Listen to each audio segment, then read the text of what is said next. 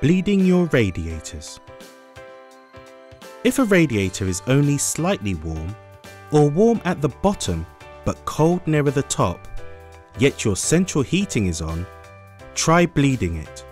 To do this, you will need a radiator key. If you haven't one, you can get one from any DIY or hardware store. You will also need a paper towel or cloth. Before you bleed your radiator, first turn your boiler off.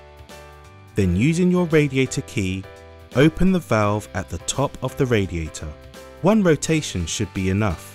Hold your paper towel or cloth against the valve as dirty water will come out. You should hear a hissing sound as the air is bled out of the radiator.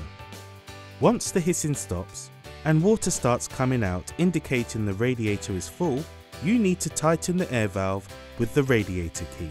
Finally, switch on your heating to test.